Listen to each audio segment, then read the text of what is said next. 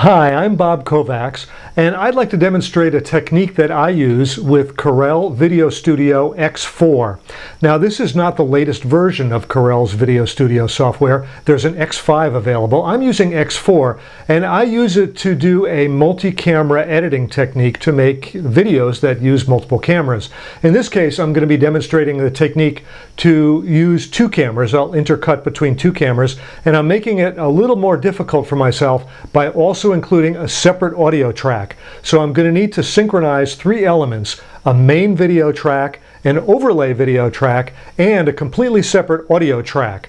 It's going to be a little complicated, but it really isn't that hard if you go at it step by step. So let's go ahead and get started. Now the song I'm going to do is a classical chamber music piece done by a local Virginia group called Virginia Virtuosi and they've invited a young fellow up from the audience to assist them by dropping a basketball on the floor. Now, after he accomplishes one or two drops, he gets a little nervous and he gives the basketball to a little young lady who finishes the rest of the song, and she does actually a pretty good job with the rest of the song. So you're not going to know that at the beginning, of course, but uh, during the process, we're going to see that happen. So let's go ahead and get started. Now I've got the clips that I need up here in my library. There is the audio clip, that's the first clip, and I've got my other two clips rather unimaginatively named main 2 and b-roll 3. So the primary camera is the main 2 camera and the uh, camera I'm going to intercut with is called the b-roll 3 camera. I'm going to go ahead and bring main 2 down. Now what I've done prior to starting the video here is I've got these roughly aligned to where they're supposed to be. But I'm going to go ahead and start right now working with the main 2. The first step in the process is to go ahead and put the transition in that I'm going to use. I'm going to use a crossfade, so I'm going to bring down a, the crossfade transition, get that set up the way I like it, and there we go. The very next step is to enable the sound mixer right down here. Click on that icon, turn on the sound mixer, and this will take a little time to display the wave data for these various clips. Okay, I've got all three of the clips showing their audio waveforms, and they're a little bit all over the map. You see that the uh, main clip has got this big thick audio waveform right there, and the overlay clip has got something very similar. Now, as it turns out, on my audio clip, this is that same sound and it's ending way over here. So the first thing that I'm going to do is I'm going to move it so that it lines up up here and at the moment it's looking uh, like I still have to take it a little bit more to the left. So I'm going to go a little bit more to the left. This will all get more precise in a moment. Okay, that's actually looking pretty darn good, but uh, we won't know for sure exactly how good until we expand the timeline and take a look at that. And I'm thinking that that is actually pretty darn close. So I am going to move this over a little bit more it looks like I may be about a frame off at this point. So what I like to do now is I like to play it a little bit. Now I've got three audios all engaged, all ready to play, and if they are not exactly overlined, I'll get some significant reverb or echo kind of sounds. So let's see what I get.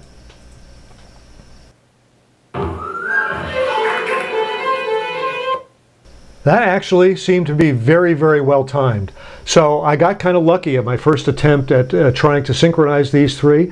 Now, now that I have them synchronized, the thing to do is to turn the audio off on both the main track and on the overlay track.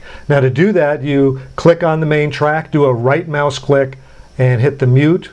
Same thing with the overlay, do a left mouse click to uh, highlight it and then come up and do a right mouse click and click on mute. So now those two are muted and all that remains as far as audio is concerned is my audio track that I brought in separately.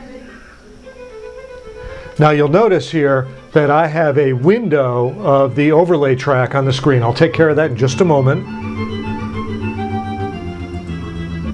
Okay, that actually so far looks pretty good to me. So what I'm going to do is I'm going to turn off the sound mixer.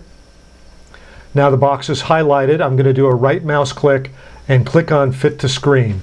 And I'm going to take the left edge and I'm going to drag that over to the right so it's out of the way. And now I'm going to play it and we'll see what it's like with the main video track and the audio track, the separate audio track.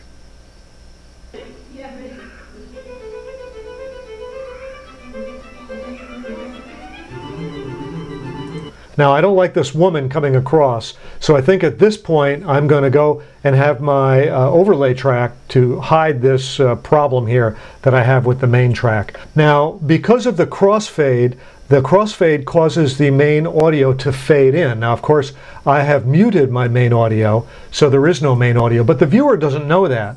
So I'm going to do a fade in on my audio track. I'm going to come over here to the options panel, see my options, and this is the fade in button. I'm going to click on the fade in button. So now the audio is going to fade in just as if it was fading in because of the crossfade.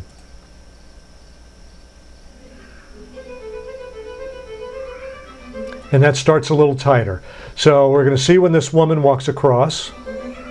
She's getting up right now. So I'm going to go ahead and bring this in there. And that's going to completely block that out. So let's go ahead and take a look at what I have so far. I'm going to send it back to the beginning, uh, bring it here, and here we go.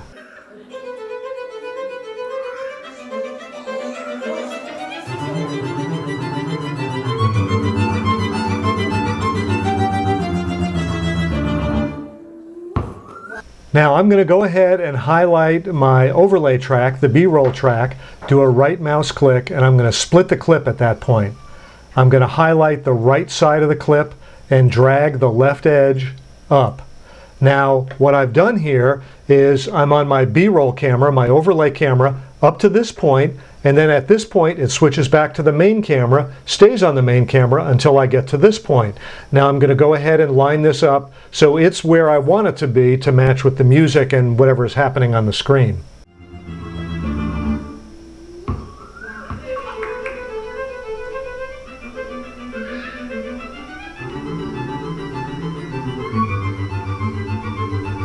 Okay, now the little boy has decided that he's had enough of being a musician, so he's going to put the ball down and go back to his mom.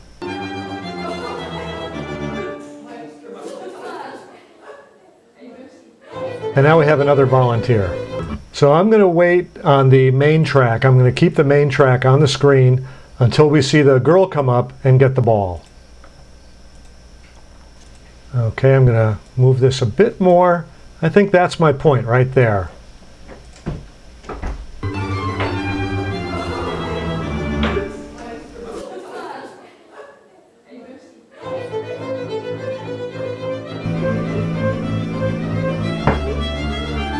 And here you go. She's a, a good ball dropper. Okay, she's getting ready to drop the ball at this point. I'm going to go and cut the clip again, do a right mouse press, split the clip, drag the left edge of the clip over, and here we go. Let's see what we got.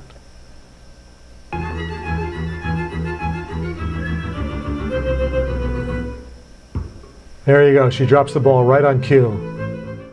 And that is a demonstration of how you go ahead and do multi-camera editing using Corel's Video Studio. Again, I've got X4, not the latest version. Uh, X5 is the latest version.